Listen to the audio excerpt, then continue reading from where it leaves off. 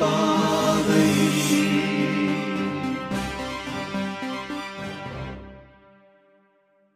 ഈശോ മിശിഹായ്ക്ക് സ്തുതിയായിരിക്കട്ടെ. ഈശോയിൽ പ്രിയ കൂട്ടുകാരെ നിങ്ങളെല്ലാവരും സുഖമായിരിക്കുന്നു വിശ്വസിക്കുന്നു. എനിക്കും വളരെ സുഖമാണ്. ദൈവകൃപയാൽ എല്ലാം ഭംഗിയായി പോകുന്നു. നിങ്ങൾ കഴിഞ്ഞ ക്ലാസ്സിലെ പാഠഭാഗങ്ങളൊക്കെ കൃത്യമായി വായിച്ചു പഠിച്ചു ഹോംവർക്കൊക്കെ ചെയ്തു എന്ന് ഞാൻ അറിഞ്ഞു. ഞാൻ നിങ്ങളുടെ ഒന്ന് രണ്ട് കാറ്റഗിസൺ ടീച്ചേഴ്സിനെയൊക്കെ ഫോൺ ചെയ്ത് അന്വേഷിച്ചായിരുന്നു. ഇപ്പോൾ പിള്ളേരൊക്കെ പഠിക്കുന്നുണ്ട്. നിങ്ങളോട് സംശയങ്ങളൊക്കെ ചോദിക്കുന്നുണ്ട് എന്നാണ് ഞാൻ മനസ്സിലാക്കിയത്. വളരെ സന്തോഷം. അപ്പം ഇന്ന് നമ്മൾ രണ്ടാമത്തെ പാഠഭാഗത്തിലേക്ക് പ്രവേശിക്കുകയാണ് അല്ലേ? അടയാളങ്ങളും പ്രതീകങ്ങളും എന്നുള്ളതാണ് രണ്ടാമത്തെ പാഠത്തിന്റെ തലക്കെട്ട്. അതിന് നമുക്ക് ഒരു നിമിഷം പ്രാർത്ഥിക്കാം. നമുക്ക് കണ്ണുകളടച്ച് കൈയൊക്കെ കൂപ്പി പിടിക്കാം. കാരുണ്യവാനായ ഈശോയെ സ്വർഗസ്ഥ പിതാവേ അങ്ങയുടെ പരിശുദ്ധാത്മാവിനാൽ ഞങ്ങളെ അങ്ങ് നയിക്കുന്നതിനെ ഓർത്ത് ഞങ്ങൾ അങ്ങേക്ക് നന്ദി പറയുന്നു. ഞങ്ങൾ പഠിക്കുന്നതായ കാര്യങ്ങൾ ഹൃദയത്തിൽ ഹൃദ്യസ്ഥമാക്കുവാനും ദൈവാരാധനയിൽ കൂടുതൽ തീക്ഷ്ണതയോടുകൂടെ പങ്കെടുക്കുവാനും ഈ ക്ലാസ് വഴി ഞങ്ങളെ അനുഗ്രഹിക്കണമേ. ഞങ്ങളുടെ ഇടവകകളെയും ഞങ്ങളുടെ രൂപതകളെയും സഭയെയും ഒക്കെ ആശീർവദിക്കണമേ. പരിശുദ്ധയമ്മേ വിശുദ്ധ പിതാവേ ഞങ്ങൾക്ക് സദാ കാവലാളായി ഈശോയുടെ പക്കൽ ഞങ്ങൾക്ക് വേണ്ടി മാധ്യസം വഹിക്കണമേ. നിത്യപിതാവും പുത്രനും പരിശുദ്ധാത്മാവുമായ സർവീശ്വരായി നീക്കും. ആമീൻ. ഈശോ സ്ത്രീയായിരിക്കട്ടെ അപ്പോൾ രണ്ടാമത്തെ പാഠമായ അടയാളങ്ങളും പ്രതീകങ്ങളും എന്ന് പറയുന്ന ഈ അധ്യായത്തിൽ ആരംഭത്തിൽ തന്നെ നമ്മൾ എന്താണ് കാണുന്നതെന്ന് നമുക്കൊന്ന് നോക്കാം. അവിടെ പഴയ നിയമത്തിൽ സംഖ്യ എന്ന് പറയുന്നൊരു പുസ്തകമുണ്ട്. കേട്ടിട്ടുണ്ടോ? സംഖ്യ എന്നൊരു പുസ്തകം? എവിടെ സംഖ്യ എന്ന് പറഞ്ഞ പുസ്തകം വരുന്നേ? അറിയാവോ? പഴയ നിയമത്തിൽ പഞ്ചഗ്രന്ഥിയിൽ ഉൽപ്പത്തി പുറപ്പാട് ലേവ്യർ സംഖ്യ നിയമാവർത്തനം. അതാണ് പെന്റട്ടുക്ക് അല്ലെങ്കിൽ പഞ്ചഗ്രന്ഥികൾ എന്നറിയപ്പെടുന്നത്. ബൈബിളൊക്കെ നിങ്ങൾക്ക് അറിയാമെന്ന് ഞാൻ മനസ്സിലാക്കുന്നു. അപ്പം അതിൽ സംഖ്യ എന്ന് പറയുന്ന പുസ്തകത്തിന്റെ ഇരുപത്തൊന്നാം അധ്യായം അഞ്ച് മുതൽ ഒൻപത് വരെയുള്ള ഭാഗങ്ങൾ നിങ്ങളൊന്ന് വായിച്ചു നോക്കണം. അതാണ് നിങ്ങളുടെ പാഠപുസ്തകത്തിന്റെ ആരംഭത്തിൽ കിടക്കുക. എന്താണ് അവിടെ കാണുന്ന സംഭവം?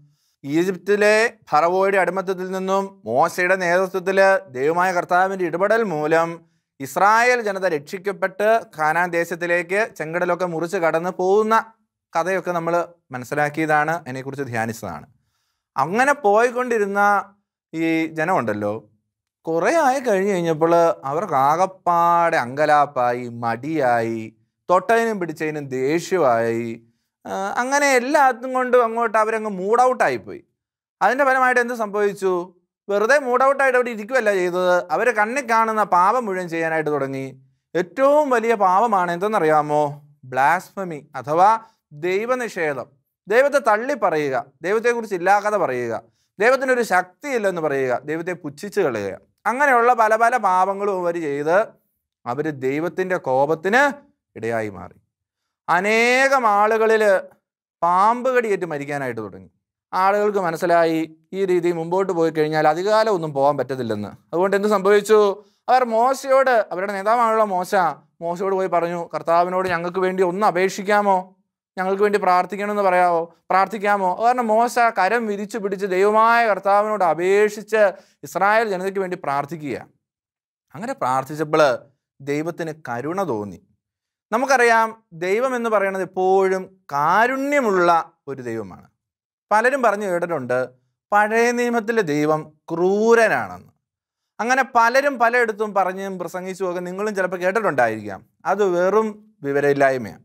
അതായത് ബൈബിളിനെ കുറിച്ച് എന്തെങ്കിലും ആധികാരിക ബോധ്യമുള്ള ആരും അങ്ങനെയൊന്നും പ്രസംഗിക്കുകയല്ല കേട്ടോ. പഴയ നിയമത്തിലെ ദൈവം നീതിമാനായ ഒരു ദൈവമാണ്. അതായത് നീതികേട് കണ്ടാൽ ദൈവം അത് പറഞ്ഞു തരും അത് പറഞ്ഞു തരും അപ്പം നമ്മുടെ തന്നെ കയ്യിലിരിപ്പ് കൊണ്ട് നമ്മൾ തന്നെ ചില അബദ്ധങ്ങളിൽ ചെന്ന് ചാടുകയും ചെയ്യും. അതാണ് വചനത്തിൽ പറയുക. പക്ഷെ നമ്മൾ പ്രാർത്ഥിച്ചു കഴിയുമ്പോൾ ദൈവം നമ്മളോട് ക്ഷമിക്കും. അതുപോലെ മോശ ഈ ഇസ്രായേൽ ജനത്തിന് വേണ്ടി പ്രാർത്ഥിച്ചു കഴിഞ്ഞപ്പോൾ ദൈവം അവർക്കൊരു ഉപായം പറഞ്ഞു കൊടുത്തു. എന്താണ് ആ ഉപായം? മോശയോട് പറഞ്ഞു നീ പിച്ചള കൊണ്ട് സർപ്പത്തിനെ ഉണ്ടാക്കുക. അതായത് പിച്ചള എന്ന് പറയുന്ന മെറ്റലാണ് അതൊരു ലോഹമാണല്ലോ. അതുകൊണ്ട് ഒരു സർപ്പത്തിന്റെ രൂപം ഉണ്ടാക്കുക. എന്നിട്ട് അത് മരുഭൂമിയുടെ നടുക്ക് വേണ്ടി അങ്ങ് നാട്ടുക. അപ്പം പാമ്പ് കടി കേൾക്കുമ്പോൾ ഈ സാധനത്തിലേക്ക് നോക്കിക്കഴിഞ്ഞാൽ ഏത്? ഈ മരുഭൂമിയിൽ ഉയർത്തപ്പെട്ട പിച്ചള സർപ്പത്തിലേക്ക് നോക്കിക്കഴിഞ്ഞാൽ അവരാരും മരിക്കുകയില്ല. പറയുമ്പോൾ സഹോദരങ്ങളെ എന്റെ കൂട്ടുകാരെ പഴയ നിയമത്തിൽ മോശയോട് പറഞ്ഞ ഈ ഒരു സംഗതി അത് വെറുതെ ഇസ്രായേൽ ജനങ്ങളെ കുറച്ച് പേരെ രക്ഷപ്പെടുത്തുന്നതിന് വേണ്ടിയിട്ട് ദൈവം പറഞ്ഞു കൊടുത്ത ഒരു ഉപാധിയായിരുന്നില്ല മറിച്ച് അനേകം നൂറ്റാണ്ടുകൾക്ക് ശേഷം തന്റെ ഏകജാതനായ ഈശോ മിസിഹായിലൂടെ ഈ ലോകത്തെ താൻ രക്ഷിക്കാൻ പോകുന്നു എന്നുള്ളതിന്റെ ഒരു മുൻ സൂചന നൽകിയതാണ് ദൈവമായ കർത്താവ്. അതെന്തുകൊണ്ടാണെന്ന് മനസ്സിലാക്കണമെങ്കിൽ യോഹന്നാന്റെ സുവിശേഷം പന്ത്രണ്ടാം അധ്യായത്തിന്റെ മുപ്പത്തിരണ്ടാം തിരുവചനം വായിക്കണം. അവിടെ എന്താണ് നമ്മൾ വായിക്കുന്നത്? അവിടെ നാം വായിക്കുന്നു ഞാൻ ഭൂമിയിൽ നിന്നും ഉയർത്തപ്പെടുമ്പോൾ എല്ലാ മനുഷ്യരെയും എന്നിലേക്ക് ആകർഷിക്കും. അതായത് കാൽവരി മലയിൽ ഉയർത്തപ്പെട്ട ഈശോയുടെ കുരിശിനെ ആയിരുന്നു നൂറ്റാണ്ടുകൾക്ക് മുൻപ് മരുഭൂമിയിൽ ഉയർത്തപ്പെട്ട പിത്തള സർപ്പം സൂചിപ്പിച്ചിരുന്നത്. അതായത് പാമ്പിന്റെ കടിയിൽ നിന്ന് അവലേക്ക് നോക്കി എല്ലാവരും രക്ഷപ്പെട്ടു എന്ന് പറഞ്ഞതുപോലെ തന്നെ പാമ്പ് കടി എന്ന് പറയുന്നത് വെറും ഒരു സൂചകമായിരുന്നു. പാപാവസ്ഥ തിന്മയുടെ അടിമത്വം എന്നതിനെ സൂചിപ്പിക്കുന്നതിനുള്ള ഒരു ഉപായമായിരുന്നു പാമ്പ് കടി കേൾക്കുക എന്നുള്ള സാഹചര്യം.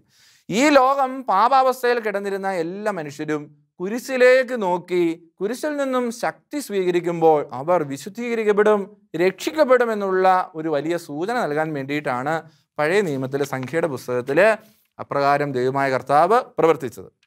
അതുകൊണ്ട് അടയാളങ്ങളും പ്രതീകങ്ങളും കൂടാതെ യഥാർത്ഥത്തിൽ നമുക്ക് ദൈവത്തെ ആരാധിക്കുവാനായിട്ട് സാധിക്കുകയില്ല. ഇനി എന്താണ് അടയാളം പ്രതീകമെന്നൊക്കെ നമ്മൾ അറിഞ്ഞിരിക്കേണ്ടത് അത്യാവശ്യമാണ്. നമ്മുടെ അനുദിന ജീവിതത്തിൽ നമ്മൾ ഒത്തിരിയേറെ അടയാളങ്ങളും പ്രതീകങ്ങളും ഒക്കെ കാണുന്നുണ്ട്. ഉദാഹരണത്തിന് ഒരമ്മയ്ക്ക് ഒരു കൊച്ചിനോട് സ്നേഹം തോന്നുകയാണെന്ന് വിചാരിക്കുക. അപ്പോൾ ആ കൊച്ചിന്റെ അടുത്ത് പോയി മോനെ മോളെ ഞാൻ നിന്നെ സ്നേഹിക്കുന്നു. മോനെ മോളെ ഞാൻ നിന്നെ സ്നേഹിക്കുന്നു. എന്ന് സുഹൃദേവൻ പറഞ്ഞ കണക്ക് നൂറ് തവണ ഉരുവിട്ടാലും ആ അമ്മയുടെ സ്നേഹം അനുഭവിക്കണമെന്ന് നിർബന്ധമില്ല. പക്ഷേ ആ അമ്മ ചെന്ന് ആ കൊച്ചിനെ തന്റെ മകനെയോ മകളെയോ തന്റെ നെഞ്ചോട് ചേർത്ത് അവരുടെയോ അവക്കടെയോ കവിളത്തൊരു ഉമ്മ കൊടുക്കുക അല്ലെ നെറ്റിത്തടത്തിലൊരു ഉമ്മ കൊടുക്കുക ചേർത്ത് പിടിക്കുക എന്ന് പറയുമ്പോൾ അത് സ്നേഹത്തിന്റെ വലിയൊരു അടയാളമായി മാറുക അതായത് ജീവിതത്തിൽ അനുദിന ജീവിതത്തിൽ പല പല അടയാളങ്ങളിലൂടെയും പ്രതീകങ്ങളിലൂടെയും ഒക്കെയാണ് നമ്മൾ ജീവിച്ചു പോവുക.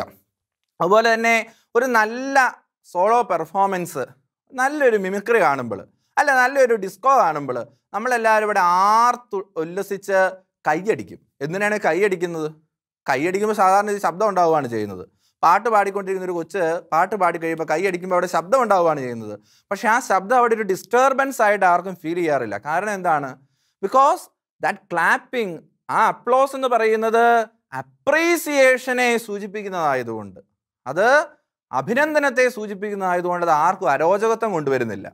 അതുപോലെ അനേകം അടയാളങ്ങളും പ്രതീകങ്ങളും അനുദിന ജീവിതത്തിൽ നമ്മുടെ ജീവിത അവസ്ഥകളെ പ്രകടമാക്കുന്നതിന് വേണ്ടിയിട്ട് നമ്മൾ ഉപയോഗിക്കുന്നുണ്ട്. അങ്ങനെ അങ്ങനെ നമ്മൾ ചിന്തിക്കുമ്പോൾ കൂടുതലായിട്ട് നമ്മൾ അടയാളങ്ങൾ കാണുന്നത് എവിടെയാണ്? റോട്ടിലേക്ക് ഇറങ്ങി കഴിയുമ്പോഴാണ് കൊച്ചിക്ക് പോകണമെങ്കിൽ ഇങ്ങോട്ടേക്ക് പോകണം.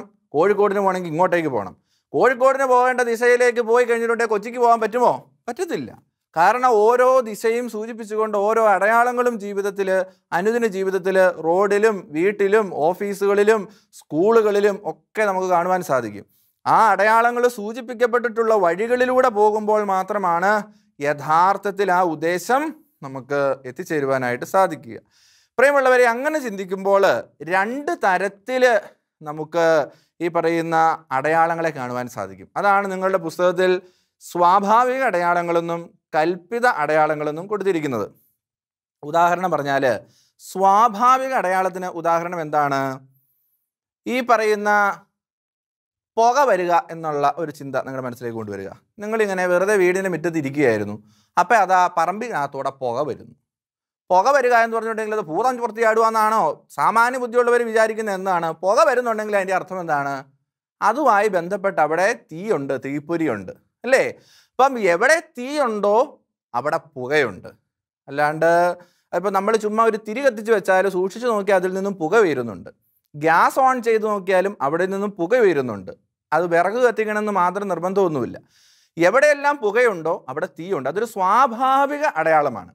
എന്നാൽ മറ്റൊരു തരത്തിലുള്ള അടയാളമാണ് കൽപ്പിതമായ അടയാളങ്ങൾ. എന്ന് പറഞ്ഞാൽ മനുഷ്യൻ കൽപ്പിച്ച് നൽകിയ അടയാളങ്ങൾ. ഉദാഹരണം ഭാരതത്തിന്റെ ത്രിവർണ പതാക. ഭാരതത്തിന്റെ ത്രിവാർണ പതാകയിൽ കുങ്കുമം വേണം വെള്ള വേണം പച്ച വേണം വെള്ളയുടെ നടുക്ക് അശോകചക്രം വേണം എന്നൊന്നും ആ മാലാഹ ആകാശത്ത് നിന്ന് വന്ന് പറഞ്ഞു തന്നതാണോ? അതൊന്നുമല്ല. അല്ലെ ഒരു കൊച്ചു ജനിച്ച് വീഴുമ്പോഴേ തന്നെ ഇന്ത്യയുടെ നാഷണൽ ഫ്ലാഗ് കണ്ടു കഴിഞ്ഞിട്ടുണ്ടെങ്കിൽ ഇന്ത്യ എന്ന് പറഞ്ഞുകൊണ്ട് തുള്ളിച്ചാടുവോ? തുള്ളിച്ചാടില്ല. എന്ന് പറഞ്ഞാൽ അത് മനുഷ്യരായിട്ട് കാലാകാലങ്ങളിൽ അവർ തന്നെ ക്രിയേറ്റ് ചെയ്ത് സ്ഥാപിച്ചു കൊടുത്തിട്ടുള്ള അടയാളങ്ങളാണ്. അപ്പം ഇങ്ങനെ പലതരത്തിലുള്ള അടയാളങ്ങൾ ജീവിതത്തിൽ കാണുവാൻ സാധിക്കും. എന്നാൽ അടയാളങ്ങൾ ഒത്തിരി ഉണ്ടെന്ന് പറയുമ്പോഴും പ്രതീകങ്ങൾ അതുപോലെ ഒത്തിരി ഒന്നുമില്ല പ്രതീകങ്ങളുണ്ട് എന്നാൽ പോലും അവ അടയാളങ്ങളിൽ നിന്നും വ്യത്യസ്തമാണ്. എന്താണ് അടയാളങ്ങളും പ്രതീകങ്ങളും തമ്മിലുള്ള വ്യത്യാസം? പ്രതീകങ്ങളെല്ലാം അടയാളങ്ങളാണ്. എന്നാൽ അടയാളങ്ങളെല്ലാം പ്രതീകങ്ങളല്ല. ഉദാഹരണം പറഞ്ഞിട്ടുണ്ടെങ്കിൽ മനുഷ്യൻ ഇപ്പം ഒരു ത്രാസ് കാണുകയാണെങ്കിൽ നമ്മൾ ഈ കോടതിയിലൊക്കെ പോകുമ്പോൾ നിങ്ങൾ കണ്ടിട്ടുണ്ട് അല്ലേ? ഒരു ചേട്ടത്തിയുടെ കണ്ണ് ഇങ്ങനെ കെട്ടിവെച്ചേക്കും. ആ ചേട്ടത്തിയുടെ ഒരു ത്രാസ് അല്ലേ? അത് കണ്ടു കഴിഞ്ഞിട്ടുണ്ടെങ്കിൽ അത് എന്നാ മനസ്സിലാവുന്നത്? അത് കണ്ട വല്ലോ അടയാളമായിട്ട് നമുക്ക് തോന്നുമോ സ്വാഭാവിക ബുദ്ധിക്ക് നമുക്കത് അടയാളമായിട്ടൊന്നും തോന്നുന്നില്ല. പക്ഷേ അതൊരു പ്രതീകമാണ്. എന്താണ് പ്രതീകം? നീതിയാണ് ഇവിടെ നടപ്പിലാക്കപ്പെടുന്നത്. ത്രാസിൽ ഉയർന്നും താന്നും ഇരിക്കുന്ന കണക്ക് നീതി ഏതാണോ അത് കൃത്യമായിട്ട് ഇവിടെ നടപ്പാക്കപ്പെടും എന്നുള്ളതാണ് അതുപോലെ തന്നെ ഒലിവല കൊത്തിക്കൊണ്ട് പറന്നു പോകുന്ന ഒരു പ്രാവ്. വെറുതെ ഒരു പ്രാവ് ഇങ്ങനെ അതിൽ പറന്നു പോകുന്ന കാണുമ്പോൾ എല്ലാവർക്കും വല്ലതും തോന്നും ഒന്നും തോന്നില്ല പക്ഷേ അങ്ങനെ ഒരു നിശ്ചിതമായ ഒരു പ്രതീകം കാണുമ്പോൾ അതെന്താണ് സൂചിപ്പിക്കുക? സമാധാനം അവിടെ സംസ്ഥാപിതമായിരിക്കുന്നു എന്നുള്ള ഒരു സൂചനയാണ് നമുക്ക് നൽകുക. അതുപോലെ തന്നെ നമ്മൾ ഒരു ഒരാൾ നമ്മുടെ സ്വന്തക്കാരോ ബന്ധുക്കാരോ നാട്ടുകാരോ ആരെങ്കിലും മരിക്കുമ്പോൾ നമ്മളൊരു കറുത്ത ബാഡ്ജ് കിട്ടും. കറുത്ത ബാഡ്ജ് കിട്ടിക്കൊണ്ടെങ്കിലാണ് അതിന്റെ അർത്ഥം എന്താണ്? എല്ലാവർക്കും അവിടെ വരുന്നവർക്കൊക്കെ കറുപ്പ് കളർ ഇഷ്ടമാണെന്നാണോ അതിന്റെ അർത്ഥം? അതിന്റെ അർത്ഥം അതല്ല. ആ ബ്ലാക്ക് ഇൻഡിക്കേറ്റ് ചെയ്യുന്നത് ഒരു ഒരു ശോകമായ ദുഃഖകരമായ ഒരു സാഹചര്യത്തെയാണ്. അപ്പം ഇങ്ങനെയുള്ള സംഗതികളെയാണ് എന്തെന്ന് പറയുന്നത്? പ്രതീകങ്ങൾ എന്ന് പറയുന്നത്. ഈ അടയാളങ്ങളും പ്രതീകങ്ങളും അനുദിന ജീവിതത്തിൽ ഉണ്ട് എന്ന് പറയുന്നത് പോലെ തന്നെ നമ്മുടെ ദൈവാരാധനയിലും ഒത്തിരി ഒത്തിരി നമുക്ക് കാണുവാൻ സാധിക്കും. കാരണം ദൈവാരാധന ആത്മാവിലും സത്യത്തിലും നമുക്ക് നടത്തണമെങ്കിൽ അടയാളവും പ്രതീകവും കൂടാതെ പറ്റത്തില്ല. കാരണം എന്താണ്? ഈ പറയുന്ന ദൈവം ഈശോ നമുക്കിന്ന് നമ്മുടെ ചുറ്റും ഒരു മനുഷ്യനായിട്ട് ഓടിക്കളിച്ച് നടക്കുന്ന മനുഷ്യനൊന്നുമല്ല. അദർശനാണ് ദൈവം. ദൈവത്തെ നമുക്ക് കണ്ണുകൊണ്ട് നേരിട്ട് നോക്കിയാൽ കാണാവോ? കാണാൻ മേല. അദർശനാണ് ദൈവം. ആ അദർശനായ ദൈവത്തെ ആരാധിക്കണമെങ്കിൽ ആ ദൈവത്തിന്റെ സ്നേഹം ജീവിതത്തിലേക്ക് സ്വീകരിക്കണമെങ്കിൽ അടയാളങ്ങളും പ്രതീകങ്ങളും മാർഗമായിട്ട് നമുക്ക് ആവശ്യമാണ്. അതുകൊണ്ട് കുർബാനയായാലും കൂതാശകളായാലും കൂതാശ അനുകരണങ്ങളായാലും ഏതൊരു ആത്മീയ മേഖല എടുത്താലും ഒത്തിരിയേറെ അടയാളങ്ങളും പ്രതീകങ്ങളും നമുക്ക് കാണുവാൻ സാധിക്കും. അതിനെക്കുറിച്ചാണ് നമ്മൾ കൂടുതൽ വിശദമായി അടുത്ത ക്ലാസ്സുകളിൽ പഠിക്കുക. അപ്പോൾ ഈ ക്ലാസ്സിന്റെ രണ്ടാമത്തെ ചാപ്റ്ററിന്റെ ലെസണിന്റെ ആദ്യത്തെ ഭാഗം ഇവിടെ അവസാനിച്ചിരിക്കുകയാണ്. അപ്പോൾ ഇതിന്റെ ഏറ്റവും അവസാനത്തിൽ നിങ്ങൾക്ക് നൽകുന്ന ടാസ്ക് എന്താണെന്ന് ചോദിച്ചിട്ടുണ്ടെങ്കിൽ സ്നേഹവുമായി ബന്ധപ്പെട്ട ഏതെങ്കിലും അഞ്ച് അടയാളങ്ങളോ പ്രതീകങ്ങളോ നിങ്ങൾ കണ്ടുപിടിച്ച് എഴുതുക. സ്നേഹവുമായി ബന്ധപ്പെട്ട ഏതെങ്കിലും അഞ്ച് സൈൻസ് ആൻഡ് സിമ്പിൾസ് അതുപോലെ രണ്ടാമതൊരു ടാസ്ക് കൂടെയുണ്ട് നിങ്ങൾ ഈശോയുടെ കാൽവരിയിൽ ഉയർത്തപ്പെട്ട കുരിശിനെക്കുറിച്ച് നിങ്ങൾക്ക് മനസ്സിൽ തോന്നുന്ന ഒരു ധ്യാന ചിന്ത ഒത്തിരി ഒന്നും എഴുതണ്ട. ഒരു മൂന്നാൽ ചിന്തകൾ നിങ്ങളുടെ മനസ്സിൽ വരുന്ന ധ്യാന ചിന്തകൾ അതുകൂടെ കുറിച്ച് നിങ്ങളുടെ നോട്ട്ബുക്കിൽ വെക്കുക. ഈ രണ്ട് സംഗതികൾ അടുത്ത ഞായറാഴ്ച ആകുമ്പോഴത്തേക്കും നിങ്ങൾ ചെയ്യണമെന്ന് സ്നേഹത്തോടെ ഓർമ്മപ്പെടുത്തുന്നു. പാഠപുസ്തകം കൃത്യമായി വായിക്കണം കേട്ടോ. ഞാൻ പറയാത്ത പോയിന്റുകളും കൂടുതലായിട്ടുള്ള അറിവുകളും ഒക്കെ നിങ്ങൾക്ക് പുസ്തകത്തിൽ നിന്ന് കിട്ടും. സോ നിങ്ങളെ അനുഗ്രഹിക്കട്ടെ. നമുക്കൊരു നിമിഷം പ്രാർത്ഥിക്കാം. കാരുണ്യവാന ഈശോയെ കഴിഞ്ഞ നിമിഷങ്ങളിൽ ഞങ്ങളുടെ മേൽ ചൊരിഞ്ഞ പരിശുദ്ധാത്മാഭിഷേകത്തിന് നന്ദി പറയുന്നു. ബോധ്യങ്ങൾക്ക് നന്ദി പറയുന്നു. ഞങ്ങൾ അങ്ങയുടെ കൃപയാൽ ജീവിക്കുവാൻ ആഗ്രഹിക്കുന്നു. ഞങ്ങളെ സഹായിക്കണമേ. പരിശുദ്ധ അമ്മേ ഞങ്ങൾക്ക് കൂട്ടായിരിക്കണമേ. നിത്യം പിതാവും പുത്രനും പരിശുദ്ധാത്മാവുമായ സർവേശ്വരായി നീക്കിയും. ആമീൻ. സിഹായിക്ക് സ്തുതിയായിരിക്കട്ടെ.